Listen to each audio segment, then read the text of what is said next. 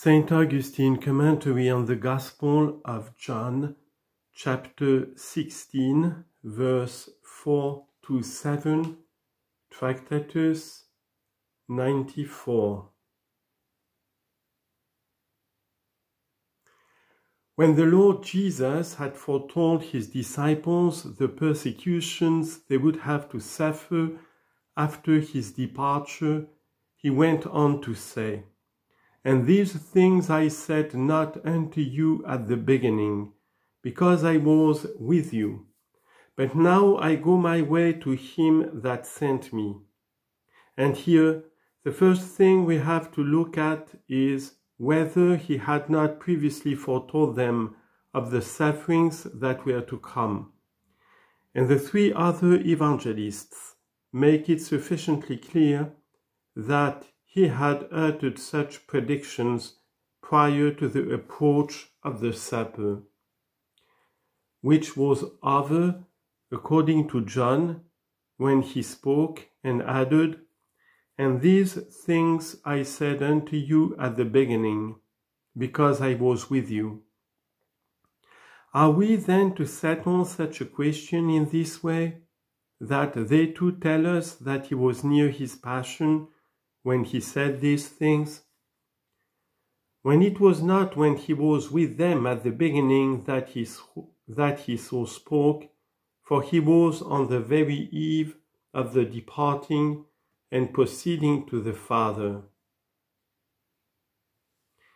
And so also, even according to these evangelists, it is strictly, strictly true what he here said.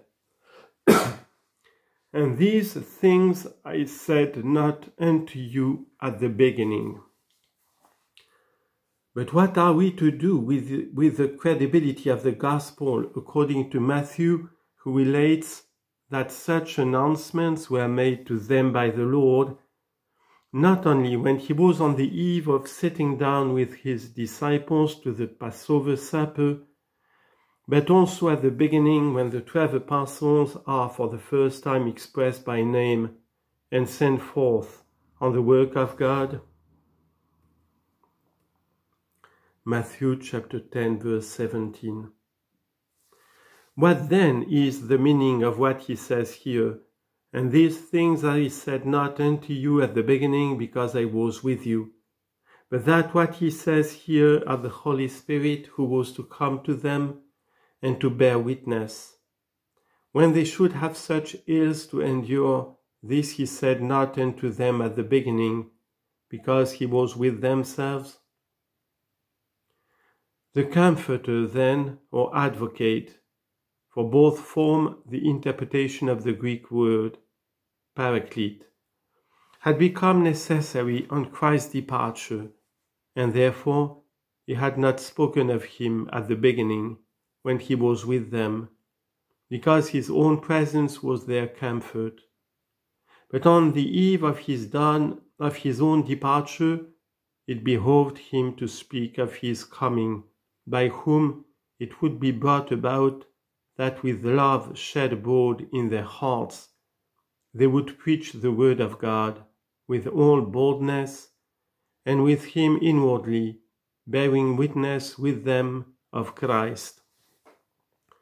They also should bear witness and feel it to be no cause of stumbling when their Jewish enemies put them out of the synagogues and slew them, with the thought that they were doing God's service because the charity bears all things. 1 Corinthians chapter 13 verse 7 which was to be shed abroad in their hearts by the gift of the Holy Spirit.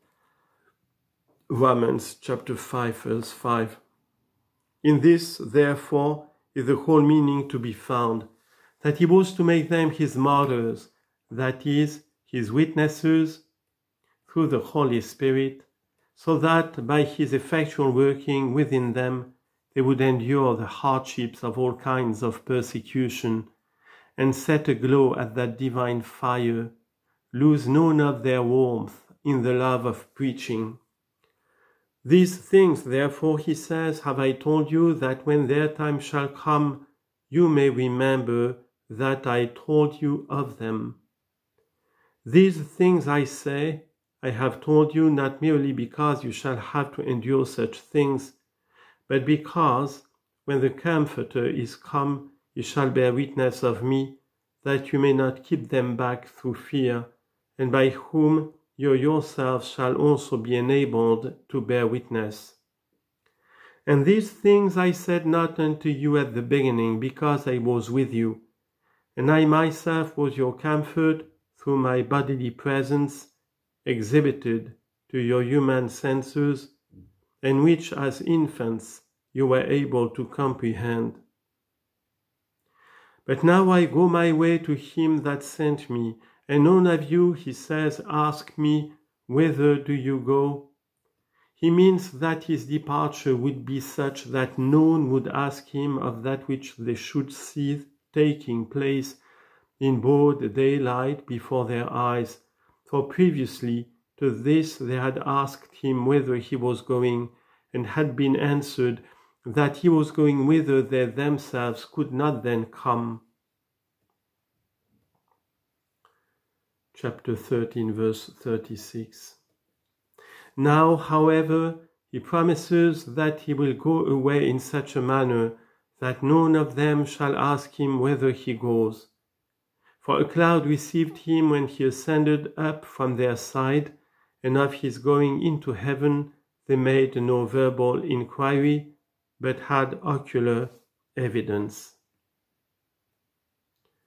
Acts chapter 1, verse 9 to 11. But because I have said these things unto you, he adds, sorrow has filled your heart. He saw indeed what effect these words of his were producing in their hearts, for having not yet within them the spiritual consolation which they were afterwards to have by the Holy Spirit, what they still saw objectively in Christ they were afraid of losing. And because they could have no doubt they were about to lose him whose announcements were always true, their human feelings were saddened, because their carnal view of him was to be left a blank. But he knew what was expedient for them, because that inward sight wherewith the Holy Spirit was yet to comfort them, was undoubtedly superior, not by bringing a human body into the bodies of those who saw, but by infusing himself into the hearts of those who believed. And then he adds, Nevertheless, I tell you the truth, it is expedient for you that I go away. For if I go not away, the Comforter will not come unto you. But if I depart, I will send him unto you. As if he had said, It is expedient for you that this form of a servant be taken away from you. As the Word made indeed flesh, I dwell among you, but I would not that you should continue to love me carnally and content with such milk desire to remain infants always. It is expedient for you that I go away. For if I go not away, the Comforter will not come unto you. If I withdraw not the tender nutriment wherewith I have nourished you, you will acquire no keen relish of solid food. If you adhere in a carnal way to the flesh, you will not have room for the Spirit. For what is this? If I go not away, the Comforter will not come unto you. But if I depart, I will send him unto you. Was it that he could not send him while located here himself? Who would venture to say so? Neither was it that where he was thence the other had withdrawn, or that he had so come from the Father, as that he did not still abide with the Father. And still further, how could he, even when having his own abode on earth, be unable to send him who we now who we know came and remained upon him at his baptism. Ye more from whom we know that he was never separable? What does it mean then, if I go not away, the Comforter will not come unto you, but that you can't receive the Spirit so long as you continue to know Christ after the flesh? Hence, one who had already been made a partaker of the Spirit says, Though we have known Christ after the flesh, yet now henceforth know we him no more. 2 Corinthians chapter 5 verse 16. For now even the very flesh of Christ he did not know in a carnal way, when brought to a spiritual knowledge of the Word that had been made flesh. And such doubtless did the good Master wish to intimate when he said, If I go not away, the Comforter will not come unto you. But if I depart, I will send him unto you. But with Christ's bodily departure, both the Father and the Son, as well as the Holy Spirit, were spiritually present with them. For had Christ departed from them in such a sense that it should be in his place, and not along with him, that the Holy Spirit would be present in them, what becomes of his promise when he said, Lo, I am with you always, even to the end of the world? and I and the Father will come unto him and will make our abode with him. Seeing that he also promised that he would send the Holy Spirit in such a way that he would be with them forever. In this way, it was on the other hand that seeing they were yet out of their present carnal or animal condition to become spiritual, with undoubted with undoubted certainty, also were they yet to have in a more comprehensive way both the Father and the Son and the Holy Spirit. But in no one are we to believe that the Father is present without the Son and the Holy Spirit, or the Father and the Son without the Holy Spirit, or the Son without the Father and the Holy Spirit, or the Holy Spirit without the Father and the Son or the Father and the Holy Spirit without the Son.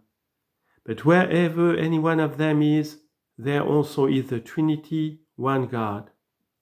But here, the Trinity had to be suggested in such a way that, although there was no diversity of essence, yet the personal distinction of each one separately should be presented to notice where those who have a right understanding can never imagine a separation of natures.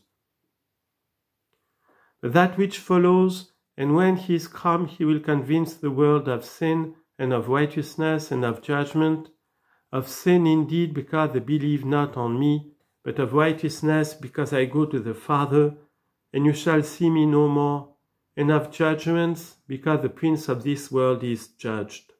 Verse 8 to 11 as if it were sin simply not to believe on Christ, and as if it were very righteousness not to see Christ, and as if that were the very judgment, that the prince of this world, that is the devil, is judged, all this is very obscure and can't be included in the present discourse. Lest brevity only increase the obscurity, but must rather be deferred till another occasion for such explanation as the Lord may, may enable us to give.